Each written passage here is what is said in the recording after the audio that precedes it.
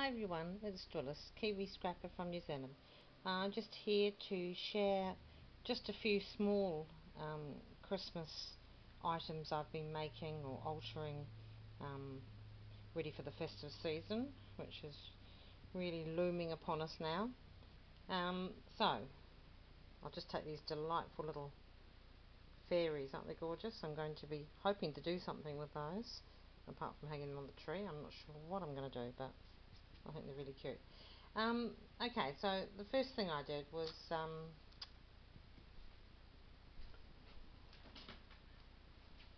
sorry about that, not prepared again. Um, I bought a whole pile of these little, I guess they're drink mats. They're very nice, hard, sturdy cardboard um, from an op shop a few days, well, about three weeks ago actually. Um, I think there's about 12 or 14 of them, something like that quite attractive. Look like Japanese flower arrangements. But anyway, um, at the time I thought they'd, they'd be really good for, for making tags. So that's what I got them for, and I think it was about a dollar for that whole pile. And they're all new. Somebody must have got them and popped them in there. So I made um, this. This is the first one I've tackled. And as you can see that that's the back and I've covered it with um, that's the backing of a Christmas paper. So they're quite nice. They're kind of like curved edges and so I thought they'd be quite good. So that's um, that's that. And I put a frill around it a tea stain frill. Um, there's a little angel here which I've sort of laid flat and then curved up the flower so that she's kind of got a little, little bit of height and dimension in her Little Victorian pink and white angel. Um, and the rest is just um, this scroll of music that I did here. This was off a, one of the Christmas papers. So um, I just rolled that up around a pencil, glued it down and popped that in there. Um, there's a little cabochon here with a music note in it. These are three antique handmade pearlized buttons um, Edwardian buttons and they're genuine and I've just popped in some um, flat back pearls there. And up here there's a bow of um, seam binding and lace for that corner up there. There's butterfly here and a butterfly down here. Um, and the rest is like just some sequins. There's a little flower there with the bling center um, yeah that's that. Um, there's a Christmas paper in the background there that's silver and and cream. So that's just there. That's just going to um, the little organza hanger that will just hang up somewhere in in an area that's got those colours in. And there's my phone going in the background. Sorry. Um, I've just recently. sorry, the phone's going and my dog's barking. Um, I bought this for my new baby grandson. He'll be, I think he's he's just three months old now. So um, yeah, I bought that for him, and the label on that was this. So um, I thought, well, that might make a good template for making some little things for the Christmas tree. So this is my first attempt at, at that one. And um, that's just covered with lace, other bits of lace and some bling and some sequins and a little organza flower there. And the back is just quite plain. So that's that. So I probably will make some more of those because um, they came out quite cute. But this is a little um, little can tea candle light that I got from the op shop. Little doves in it and holly berries and stuff. Um, and I just popped in a pearl there and I popped these, I've got to glue one back on actually, pop some lace, pop some of those around there, just to fancy it up a bit for Christmas.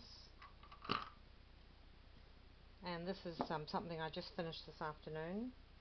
It's just a plain little jar that um, I found and um, I popped in some of this lovely fringe lace and it's quite a wide lace so I doubled it over and so some of the points or the curves are here with the fringing and the, these bits have got points, if you can understand what I mean. So some bits are pointed and some bits are curved um, because they doubled over.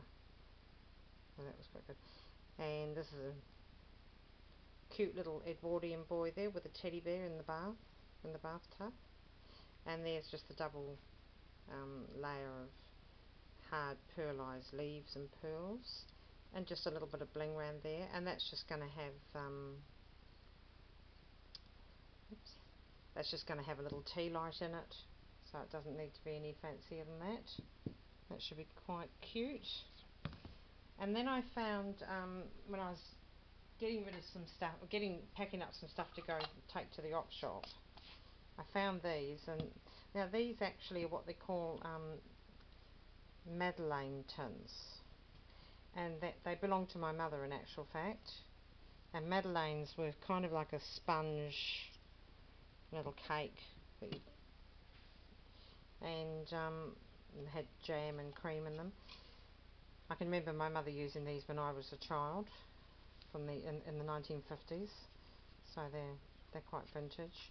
Um, and I've never wanted to throw them away because of that memory of my mother um, who passed away in um, 1997 and a year later my father passed away. So these these things are quite precious to me so but you know they're obviously pretty yucky looking they're all rusty and things like that so I wondered what I could do with them. So here's what I came up with for the Madeleine tins well just two of them. So there's my first one.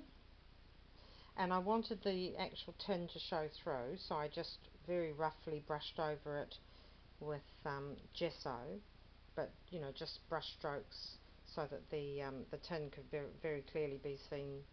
There's the bottom there. Um, yeah so the tin could be very see seen. Oh look at that. Oh I shouldn't have done that should I? That was a bit of a silly thing to do. I have to start singing now while I'm doing this. No you don't want to hear me singing Christmas carols. So anyway there it is so I, in a paper collection I had, um, I just cut out, it was a six and a half by six and a half pad that I bought a few months ago or weeks ago and I cut out this little cherub so that he sort of, and then I um, popped in some tulle, some vintage ivory tulle in there and just arranged it how I wanted it. And then I put the little boy standing up and the little cherub standing up in there and put some little um, diamante studs on and some these are wild orchid craft blue and white roses. And just around here there's just um, an old vintage silver and gold sequin braid. Some little narrow Venice lace down here with some diamante things around. So that's just um, he's just going to stand on the um, on the table somewhere um, I've got, in my house, it's not a neutral house. Every room is, is like a different colour that blends in with another room. So I've got a room that's got um, blues in it. So he's going to go in there. And the other one I did, which was actually the first one, he was the second one I did, was this little fellow here. And I wanted to make it look like the cherub was flying above above the ground, above the earth, one could say, I guess. Um, so I fussy cut him and I fussy cut out a, a dove and he's carrying um, as a peace star he's carrying in, in an envelope a message well I think it's a message of peace for the world. That would be jolly nice wouldn't it? And there's another little um, let's come off there. Stuck back on. There's another little piece dove down here that I just fussy cut and popped in there. Um, again I treated the tin the same way. I just brush stroked it over with uh, roughly with gesso. I put this rose um, wedding trim around it. Now I've put the bottom at the same and I've put the tulle but I arranged the tulle a little bit differently in this one because I wanted him higher and to look as I say to look as if he was flying and then to kind of like surround him with blue sort of clouds and silver bling and so that's him so that's the um, the two of them side by side